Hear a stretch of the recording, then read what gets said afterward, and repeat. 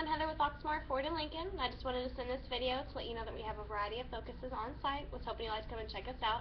If any questions or concerns, you can give me a call at 502-413-3078. Thank you, and have a great day.